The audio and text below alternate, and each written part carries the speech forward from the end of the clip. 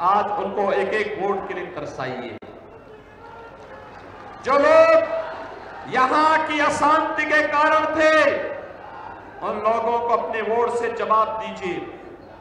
बेटी और व्यापारी की सुरक्षा के लिए जो खतरा थे, उनको एक एक वोट के लिए तरसाइए।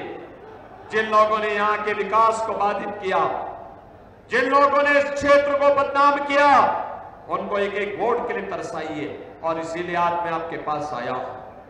लोकसभा के चुनाव में देश की जो आवाज़ है, उस आवाज़ के साथ सोनभद्र और दुग्ध की आवाज़ भी जुड़नी चाहिए। देश की आवाज़ है, फिर एक बार, फिर एक बार, और अब की बार, अब की बार 400 पार।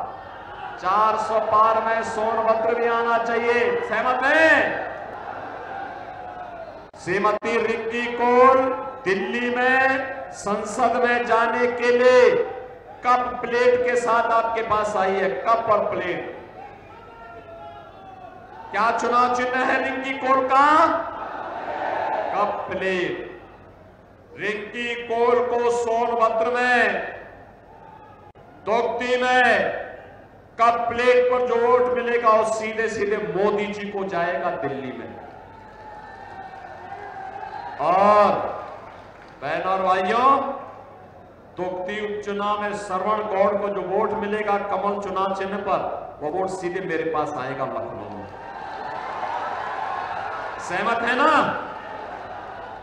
जो आवाज़ देश की है कि जो राम को लाए हैं, हम उनको लाएँगे। आप सहमत हैं? सहमत है ना? देखो, ये समाजवादी पार्टी के लोग तो रामद्रोही है।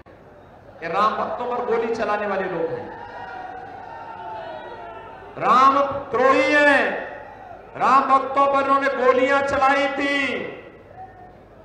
और ये आज भी कह रहे हैं कि अगर समाजवादी पार्टी और कांग्रेस की सरकार बनेगी तो अनुसूचित जाति, जनजाति और पिछड़ी जाति के आरक्षण को मुसलमानों को बांट देंगे। अरे बाबा साहब भीमराव अंबेडकर का अपमान कर रहे हैं।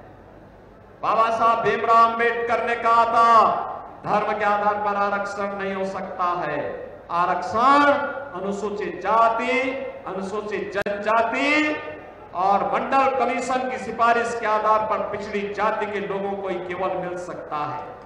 बहनों, भाइयों, हमें धर्म के आधार पर आरक्षण नहीं होने देना है और भाजपा आपको आश्वस्त करती है, अनुसूचित जाति, पिछड़ी जाति के अधिकारों पर किसी को डकैती डालने की छूट नहीं देंगे, चाहे वह कांग्रेस और सपा हो, चाहे कोई भी हो, उनको डकैती डालने की छूट नहीं देंगे। बहन और भाइयों, ये कह रहे हैं ये कह रहे हैं, सत्ता में आएँगे। सत्ता में आएँगे तो वरासत टैक्स लगाएँगे। इनका ये वरासत टैक्स औरंगज़ेब का जजिया कर है।